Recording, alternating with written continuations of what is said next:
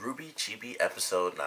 Now, this one they actually did something very different. We actually got much longer sketches. We technically only got two, and they were much longer, so it was kind of um, the big build up and payoff sort of deal instead of smaller little pieces here and there with little silly stuff and things like that. And I like this episode. I like both skits. Um, I think I enjoyed the second one a lot more than I enjoyed the first one because it was really simple and it was just you know like little stuff here and there. Like my favorite thing, of course, was the very end. But I like some of the little stuff they did, and you know, Weiss is trying to study, of course, and Ruby's like, you know, she comes in and they have her like bent backwards almost, and she's just like, I'm bored, let's hang out and do something.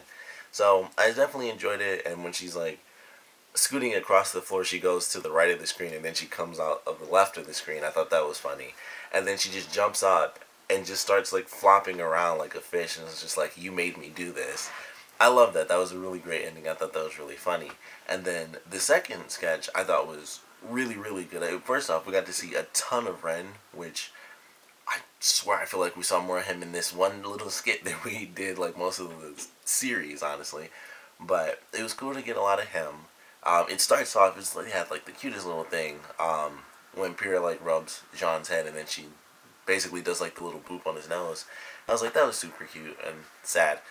But it was really cool, and so he gets tagged, and then they do like the crazy, like 360 spin around thing because he's just in like a crisis now, like he's it, and it was so funny. He had his own like uh, training montage and stuff, and they go through the whole process with him, and he trains, and he's doing, you know, the push-ups, and he was doing like one finger push-ups at first, which I was like, dang, he's got that strength, and then he's doing like no hand push-ups, just blowing on the ground and it was so funny, like all the silly stuff they did with that and him training, and then he's like training on top of Zwei at one point, and then he's like floating on top of a fan, and then he's catching like peppermints with chopsticks for some reason, and you know Ruby's like, you know, you're ready, and he goes like full serious mode. He's got his bandana and everything, and at first, like the way they did it, he, I thought he tagged Nora so hard, like he almost like snapped her neck. I thought she was gonna like fall backwards or something, but he was like tag, and then she was like just headbutts him and like tag back, and he's just like oh, and he's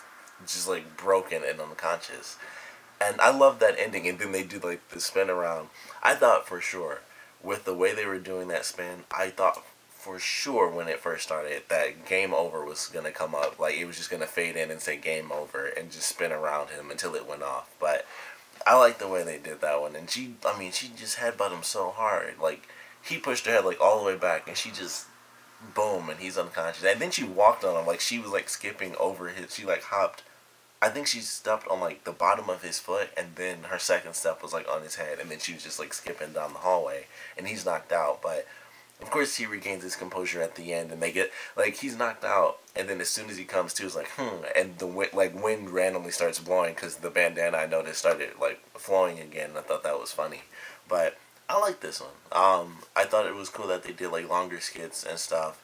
Like I said, I personally thought the second one was better than the first one. I felt the first one, of course, it had build up and it had a good payoff because that was really silly. Her like just flopping around and then passing out because she got so tired just from doing that, and it, she passed out automatically. But I definitely liked the second one more. I thought it was, you know, it was it had like a huge payoff, but it was also funnier in its little increments. I thought it had more funny moments than the first part did, which I think only really made me laugh when she went across the screen and came out the other side, and then the actual final moment, and everything else was just like, you know, she's it's just silly, but it didn't really make me laugh. So that's why I like the second one better than the first one. And plus, know, we got more Team Juniper, which is always cool, and a ton of Ren is the you know the main focus for the second half of this episode. But certainly enjoyable. Definitely, I uh, want to know what you guys thought about it. So please comment below. Let me know. Well, there are only two skits. I normally say like your favorite skits and least favorite skits. So I definitely want to know if you like the first one better or the second one better. And because this is the first episode that really did like, you know, really it's only two because we've had longer skits before. I think um, episode two kind of did that in the beginning with Blake when it, she was like the cat burglar.